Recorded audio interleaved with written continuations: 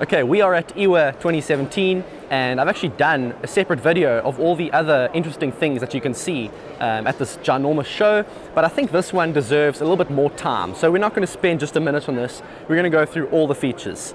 Um, this is the new FX Crown. I like it in this color. Um, you may have seen other videos of the same gun in different colors. I like this one.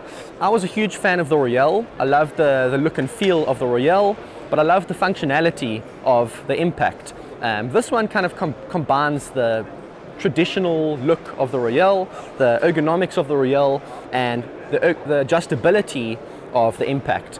And that's what I want. I'm a fiddler. I love to play around with um, different settings and, and um, experiment and get the best accuracy out of my gun. And you couldn't really do that with the Royale. Um, the impact you could. So on this gun, you get the multiple power adjustments, you get the hammer spring uh, adjustment over here, you get the uh, transfer port adjustment, and you get the two pressure, pressure gauges and the regulator that's adjustable from the outside.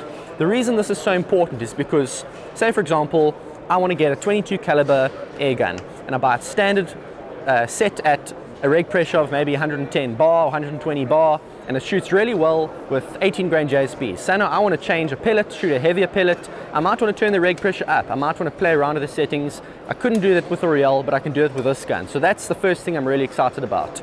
Um, other features include a full-length shroud. Um, the Royale, as you can see back here, the Royale didn't have the full-length shroud. So uh, this one is going to be a little bit more quiet, not because it's got more length, but because it's got more volume inside the, the shroud. And that means that air can be diverted back down the shroud instead of being pushed out the muzzle end, um, which is also possibly quite good for, um, for pellet as it exits the barrel because it, it draws air away from the, the back of the pellet skirt.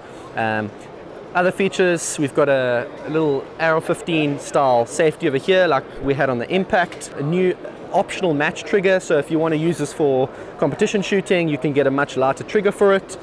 And 18 shot magazine, again, similar to the Impact. The Royale had a lot less, I think maybe 11 or 12 shots. This one's got 18. Um, that's pretty much it in terms of features, except the most important thing in my opinion is that this rifle is going to come standard with the new Smooth Twist X barrel um, from FX. And this is a real game changer. I'm not going to say it's better than the Smooth Twist because the Smooth Twist was great, but this one's a little bit more customizable in that the Smooth Twist barrel was limited uh, to the, the twist rates you could put through it. Um, because it was only at the end of the barrel, uh, the pellet generally didn't grip all the time properly on the rifling, and because of that, it stabilized JSB pellets perfectly well, but you couldn't stabilize really heavy pellets. You couldn't stabilize a variety of pellets you might want to shoot. Um, this one gives you the option of um, fitting uh, any twist rate you want. Um, they're going to play around with the, the, the, depth of the, the lands and grooves. You're going to play around with the choke. Um, and essentially you'll be able to buy a different liner depending on what pellet you want to shoot and then obviously adjust the gun according to that. You can get really get the best out of your gun. Let me actually show you the, the barrel system quickly. So this is the Smooth Twist X barrel system. And this one's in the shroud, so let's take it out. Looks like a normal sm Smooth Twist barrel, but what makes this one different is that you can actually replace the inside part of the barrel. So you buy the, the barrel sleeve like this, and you can switch out the liners inside. So this one will have a certain twist rate specific for a certain pellet, and you can take different barrel, different twist rate, set up for a different pellet, and slide it straight in and that's your replacement. You can actually switch calibers as well if you want. You can purchase uh, different pellet probe like you see here for different calibers. You can purchase a different caliber or different length barrel and you can switch it out in seconds. So as I said, the adjustability of the impact. Now let me interrupt you quickly just to tell you why this new barrel system and the adjustable power is so important to me. I'm a long range shooter, which means that it's very important for me to be able to shoot pellets with higher ballistic coefficients. Um, let's be honest, the, the Diablo shaped uh, pellet design isn't really good in, in the um, ballistic coefficient or aerodynamics department. They're very accurate, yes, but they can get blown around by the wind a lot because of their bad BCs.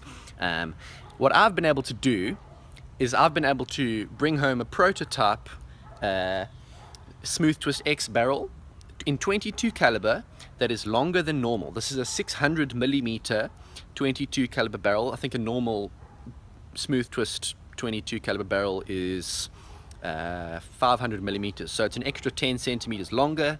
I've got the, the transfer port transfer port drilled a little bit wider so the transfer port is letting through a little bit more air and I've basically maxed out the power um, on the impact to where you know this in, inside the safe parameters of, of the power the power adjustments. And I've got the new JSB 25.4 grain pellets and that JSB announced quite recently. It's a new shape that's very very stable. I've got those pellets shooting at almost 50 foot pounds got them shooting at 47 foot pounds and that pellet has a BC of uh, 0.04 which is extremely high. That's competing with the the heavy 25 caliber pellets and the 30 caliber pellets which means that technically I could use this gun for the extreme bench rest competition and and pretty much compete with the 25 and 30 calibers and that would be a first. So that is why I'm excited about the new barrel system and about the adjustability on the crown and you're going to see a lot of this gun in the future and I know a lot of you are going to ask uh, about price. I'm happy to say that this will come in at a, at a cheaper price than the, the Impact. I think it's going to retail for about $1,600 more or less for the walnut stock version. Uh, the laminate stock version will probably be a little bit more, the synthetic stock probably a little bit less, but that's a significant decrease in price from the Impact. So those of you who are who were thinking of getting the Impact but was a little bit out of your price range, this might be a really good option for you. And that's it on the crown. Um, I'm definitely going to be doing a, a, full review of this later. I really can't wait to, to get my hands on it, and I'll see you then. Thanks for watching. And thanks for my thanks to my cameraman Ted. you wanted you wanted me and Ted to do a video together. You you got your wish, sort of.